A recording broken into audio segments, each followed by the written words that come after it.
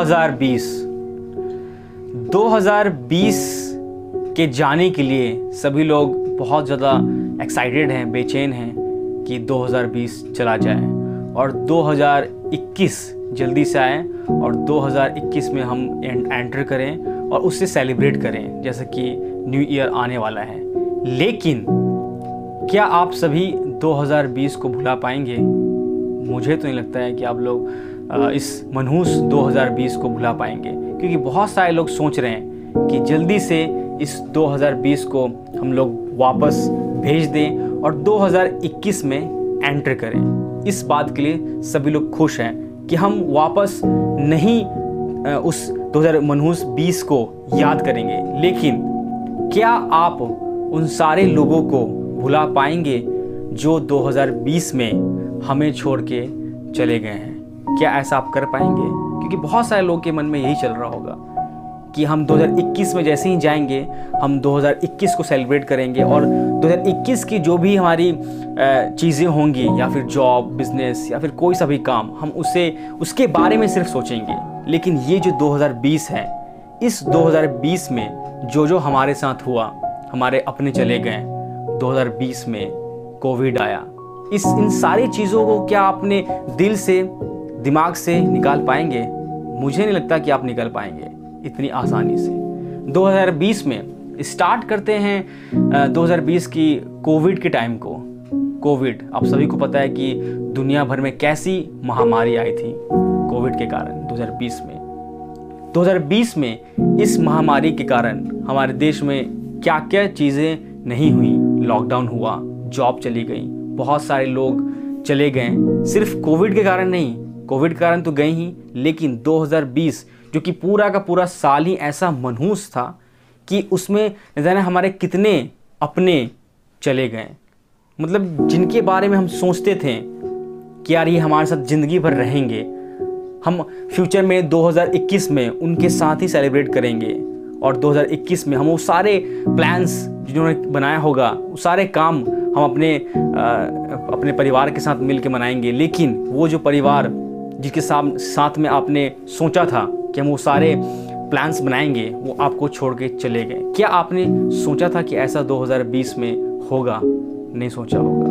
वो सारे लोग 2020 में जो आपके साथ बैठते थे, बातें किया करते थे कि यार हमारा ऐसा प्लान होगा, हम ये करेंगे, हम वो करेंगे, लेकिन वो आज हमारे साथ नहीं है। सिर्फ़ और सिर्फ़ क्यों? 2020 के कारण।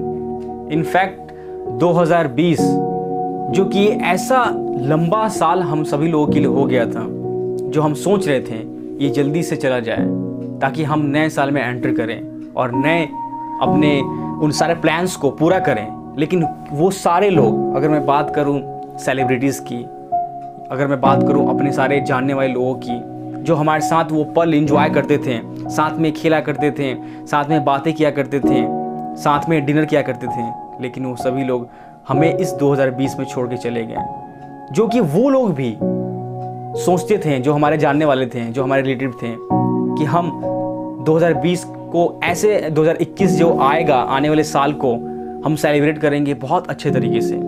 न्यू ईयर मनाएँगे एक साथ, अपने फैमिली के साथ में, परिवार के साथ में इंजॉय करेंगे 2021 को। वो सभी लोग, जो कुछ दिन पहले ही आपको वो बोले थे कि यार, हम साथ में इस चीज़ को जिएँगे तो यार इक्कीस में ऐसे पार्टी करेंगे, ऐसे ऐसे काम करेंगे। लेकिन बोलते बोलते ही क्या आपको पता था कि वो सभी लोग आपसे इतने दूर चले जाएँगे, इतने दूर चले जाएँगे, इतने दूर चले जाएँगे कि सिर्फ़ और सिर्फ़ वो इतिहास, यानी कि सिर्फ़ आपके दिल में और दिमाग में ही बस एक याद बन के रह जाएँगे। क्या आपने ऐसा सोचा था कभी? कभी नहीं ना। इनफैक्ट मैं अगर मैं अपने घर की बात करूँ जो मेरी फैमिली मेरी फैमिली में भी आ, मेरे घर में मेरी बड़ी मम्मी थी जिनके साथ हम लोग बातें किया करते थे।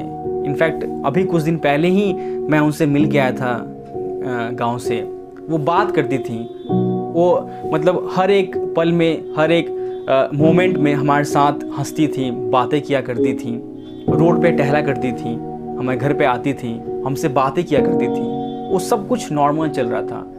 लेकिन ये झटका इनफैक्ट वो किसी दूसरे के बारे में बात करती थी कि यार, वो चला गया 2020 में कोरोना वायरस के कारण में। अब हम लोग सेफ़ रहेंगे, हमारे साथ ऐसा कुछ ना हो, भगवान से वो मांगती थी। हम भी बात करते थे उनके साथ में, जो हमारी मेरी जो बड़ी मम्मी हैं, उनके साथ हम भी बैठ के बात किया करते थे दूसरे के बारे में। लेकिन एक पल ऐसा आया कि एट लास्ट बड़ी मम्मी जो हमारी थी, वो भी हमें छोड़ के चली गई। तो ये जो इंसिडेंट है, मैंने बिल्कुल भी नहीं सोचा था कि एक इंसान, मुझे तो बिल्कुल समझ में नहीं आता है, एक इंसान जिसके साथ में हमने इतना पल स्पेंड किया हो, हर एक मोमेंट मतलब जिया हो फील किया हो हर चीज़ को, अचानक से वो कैसे हमें छोड़ के दूर जा सकता है? जिसके साथ आपने हर एक बातें शेयर की हो खुशी की या फिर दुख के, हर एक मोमेंट अचानक से आपको एक ऐसा कॉल आता है कि अब वो नहीं रहे। तो आप क्या सोच सकते हैं उस टाइम कि ऐसा क्या हो गया यकीन नहीं होगा आप, आपको अपने आप के ऊपर में कि ऐसा हो भी सकता है क्या? नहीं, ये झूठ है। आप सोचेंगे, नहीं, ये झूठ है, ये किसी ने सर ऐसे ही बोल दिया होगा। लेकिन ये बात सत्य थी रियलिटी है ये। तो इस 2020 में हमारी बड़ी मम्मी जिन, जिनके साथ में हमने बहुत बातें, हंसती रहते थे हमेशा वो। हमें सब कुछ, हम घूमते थे, हम हर एक मोमेंट को शेयर करते थे। अभी भी मुझे बिलीव नहीं हो रहा है कि हमारी बड़ी मम्मी ये दुनिया छोड़ के जा चुकी है। पल भर में, पल भर में इंसान का जो एक एक मोमेंट होता है, पल भर में इंसान मतलब कि हम आपको छोड़ के चला जाएगा। लेकिन इसीलिए कहते हैं कि कभी भी किसी के साथ में भी कुछ ऐसा बिहेव आप मत करो।